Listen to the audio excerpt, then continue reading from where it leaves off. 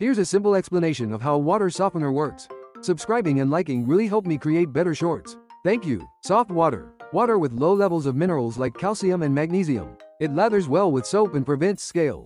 Buildup in pipes and appliances. Hard water. Water with high levels of calcium and magnesium, which makes it difficult for soap to lather and can cause scale buildup in pipes and household appliances. 1. Ion exchange. Water softeners contain small beads of resin that are coated with sodium ions. As hard water enters the softener, it flows through the resin bed.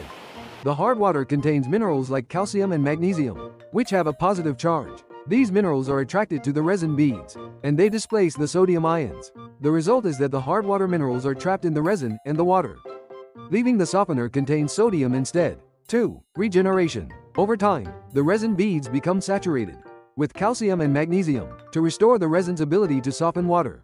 The softener goes through a regeneration cycle. During regeneration, a brine solution, highly concentrated salt water is flushed through the resin bed. The high concentration of sodium in the brine solution forces the calcium and magnesium ions off the resin beads. The wastewater, containing the displaced calcium, magnesium, and chloride, is then drained away. After regeneration, the resin beads are once again coated with sodium ions and ready to soften water.